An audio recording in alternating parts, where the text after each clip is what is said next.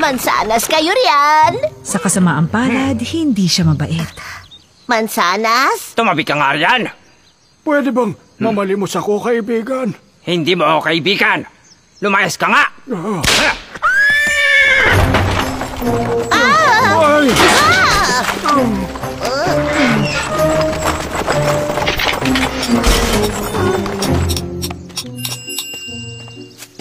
Magandang umaga, Ginoong Kasim. Najar, Ah, Nazim po. karpintero kita, hindi ba? Hindi po. Hardinero po ako. Wow! Ano ba namang amoy yan? Oh, oh ah, eto. Ah, eto po. Ang sapatos na ito'y swerte, Ginoo. Ah! Swerte ba yung mabahong sapatos na yan? Itapang mo na yan.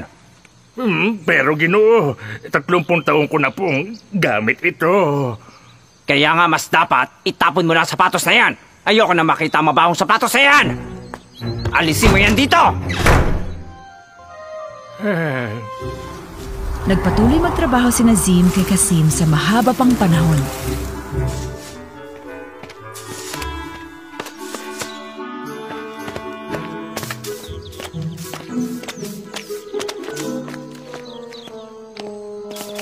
At isang araw, tuluyang namayapa ang matanda sa kanyang pagtulog.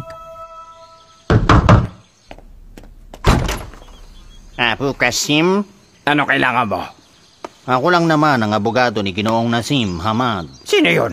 Hardinero nyo, tatlumpong taon. Ah. Ano kailangan niya? Napag-isipan niyang ipamana sa iyo ang pinakaimportanteng bagay sa kanya. Talaga? Ano ba yun? Ginto? Alas? Ipinamana niya ito sa iyo. Ah! Hindi ko matatanggap yan. Sa'yo na yan. Pasensya na, pero ito'y para sa iyo. Ah! Ano bang pumasok sa utak na matandang yon para pamanahan ako ng mabahong sapatos na to? Ginawa ni Kasim ang sa tingin niya'y dapat sa lumang sapatos. Ah! Itinapon niya ito. Saklolo! Saklolo, tulungan niyo ako! Tumawag kayo ng doktor! Nasaktan siya! Abu Kasim, ang hukom ay kumbinsidong ikaw ang may kasalanan sa nangyari sa kanya. At inutusan kitang bayaran ng matandang babae nito ng limandaang ginto bilang danyo sa kanya. Ah! Limandaang ginto bilang bayad? Isang kahangalan po yan, hukom! Siguro nga. Gawin mo ng isang libo.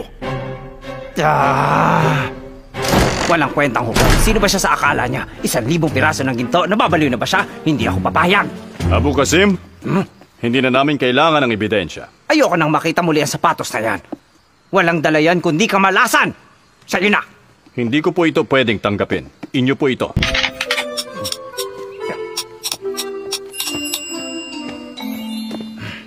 Ah!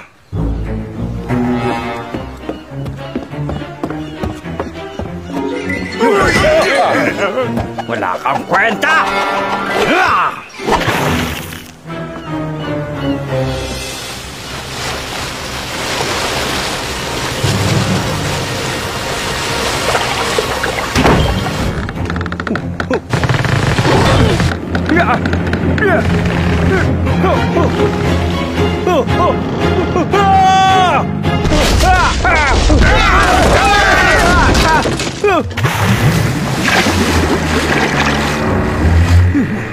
Siya may kasalanan!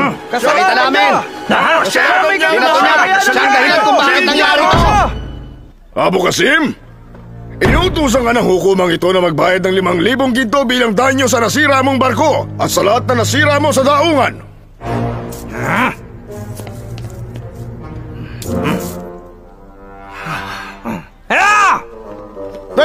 Sandali lang Kasim. Ano? Sa'yo na ulit itong sapatos.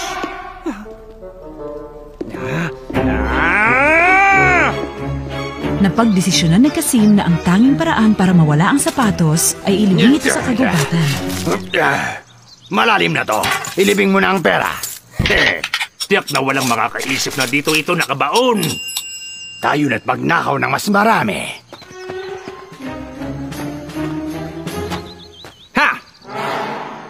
Ngayon may kalalagyan ka. Wala kang kwenta. Hindi na kita muli makikita.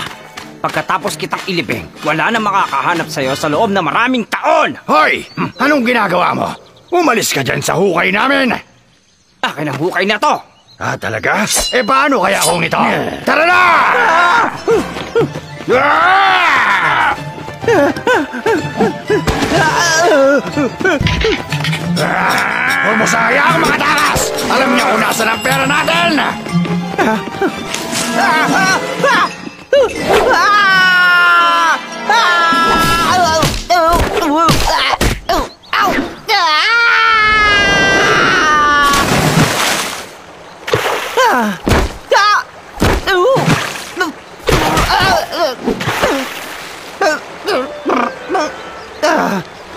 salamat at tapos na.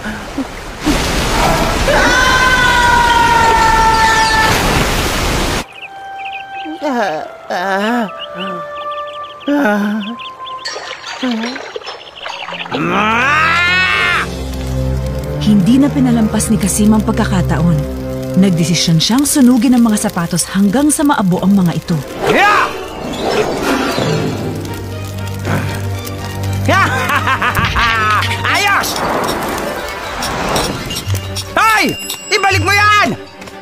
Masunog yan! Ah!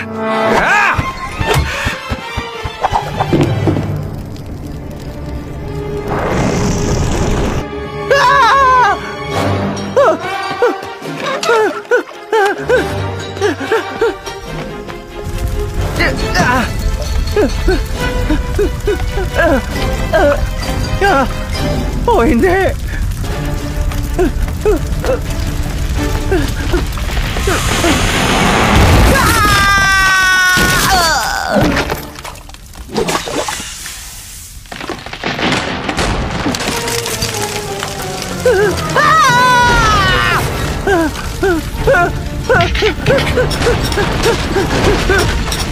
Saan ako dadaan?